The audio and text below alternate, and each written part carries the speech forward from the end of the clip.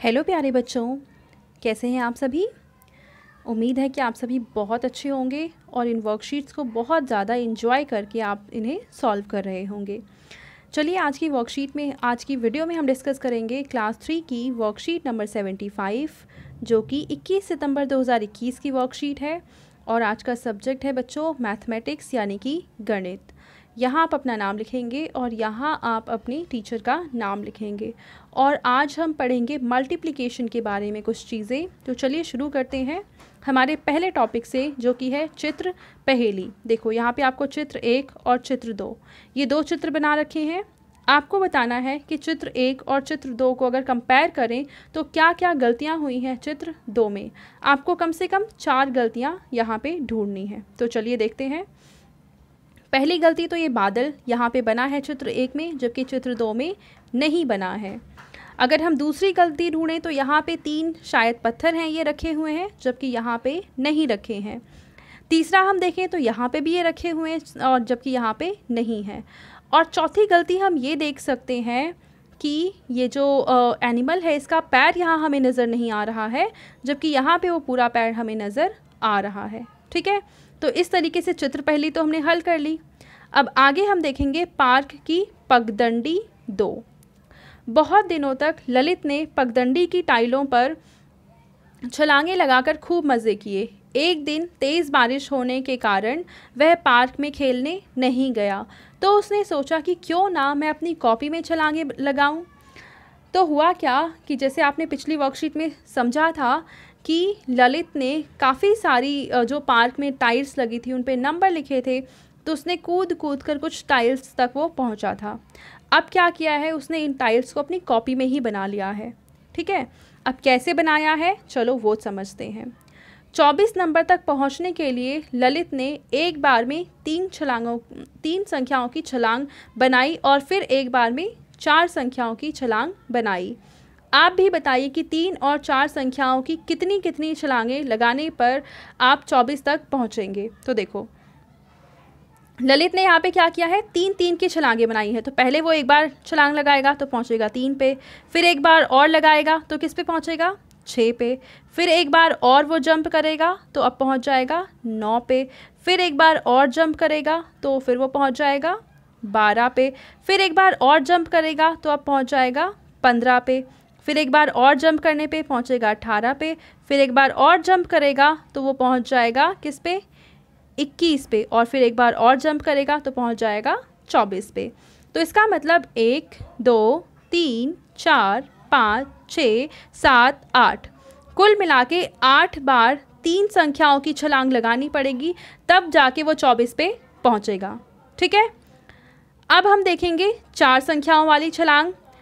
एक बार छलांग लगाने पे पहुँचा चार पे, एक बार और लगाएगा, पहुंचेगा आठ पे, एक बार और बारह पे, फिर एक बार और लगाएगा, पहुंचेगा सोलह पे, फिर एक बार और लगाएगा, पहुंचेगा बीस पे, फिर एक बार और लगाएगा तो पहुंचेगा चौबीस पे। तो कितनी छलांगें हुई? एक, दो, तीन, चार, पाँच, छः। तो हम यहाँ लिखेंगे, छः बार चार संख्याओं की छलांग, यानी कि वो चौबीस पे पहुँच जाएगा, ठीक है? अब देखते हैं आगे। अब आगे देखिए, हमसे कहा है कि अब आप अपनी कॉपी में पाँच संख्याओं की छलांग लगाकर चालीस तक पहुंचिए। आपने कितनी बार छलांग लगाई, वो आपको यहाँ लिखना है। कितनी बार छलांग लगाई? चलो देखते हैं।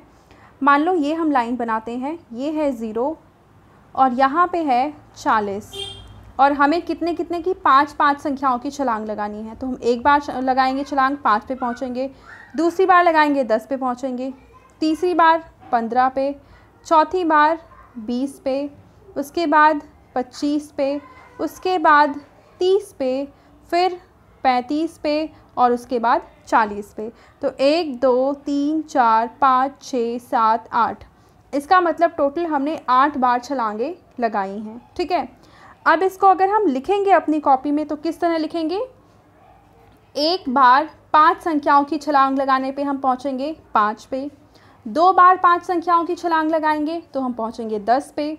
और अगर हम तीन बार पाँच संख्याओं की छलांग लगाते हैं तो हम पहुँच जाएँगे पंद्रह पे।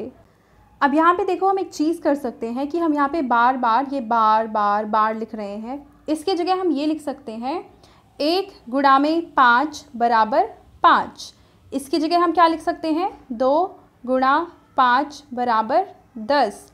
इसकी जगह हम क्या लिख सकते हैं, तीन गुणा पाँच बराबर पंद्रह। सेम ऐसे ही अगर हम पाँच छलांगे लगाते हैं, पाँच संख्याओं की तो पाँच गुणा पाँच आ जाएगा पच्चीस।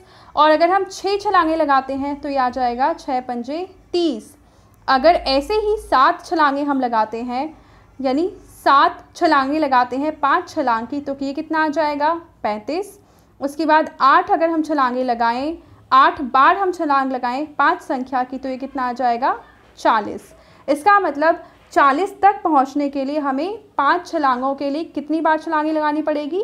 आठ बार पाँच संख्याओं की छलांगे लगानी पड़ेगी। और यही हमने आंसर यहाँ पे भी देखा था कि आठ ही आया था, इसका भी आंसर।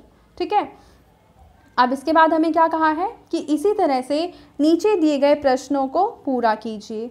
हम किस संख्या को तीन से गुणा करें तो तीस आ जाएगा? तो हम जानते हैं कि दस एकम दस दस दूनी बीस और दस तियाँ तीस होता है। यानी अगर हम दस को तीन से गुणा करेंगे तो आंसर आ जाएगा तीस। यानी इस बॉक्स में क्या, कौन सी संख्या आएगी? दस। सेम ऐसे यहाँ पे हमें एक ऐसी संख्या लिखनी है जिसको चार से गुणा करने पे अट्ठाईस आ जाए। तो हम क्या करेंगे? चार का पहाड़ा पढ़ना शुरू करेंगे। चार एकम चार चार दुनी आठ, चार तियाँ बारह, चार चौक सोलह, चार पंजे बीस, चार छिक चौबीस और चार सते अट्ठाईस। इसका मतलब यहाँ पे आ जाएगा सात, सेवन। अब हमें क्या करना है कि पाँच को एक ऐसी संख्या से गुणा करना है कि आंसर आ जाए पैंतालीस, यानी फोर्टी फाइव। तो वो कौन सी संख्या होगी? चलो पाँच का फाड़ा फिर से हम पढ़ेंगे। पाँच एकम पाँच पाँच दुनी दस, पाँच तिया पंद्रह, पाँच चौक बीस, पाँच पंजे पच्चीस, पाँच छिक तीस, पाँच सते पैंतीस पाँच अठे, चालीस, पाँच निम, पैंतालीस। और यहाँ पैंतालीस ही है, यानी पाँच को अगर नौ से गुणा किया जाए तो पैंतालीस आ जाएगा।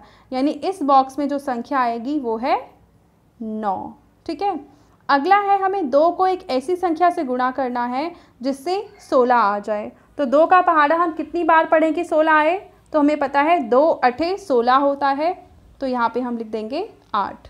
तो ये थी आज की हमारी मैथ्स की वर्कशीट अब आपके पेरेंट्स के लिए यहाँ पे सुझाव है कि बच्चों के साथ मिलकर ऐसे जानवरों की सूची बनाइए जो कूद सकते हैं। तो आप और आपके पेरेंट्स मिलकर ये सूची बनाएँगे, ठीक है? एंड आई होप आपको ये वर्कशीट बहुत अच्छे से समझ में आ चुकी होगी।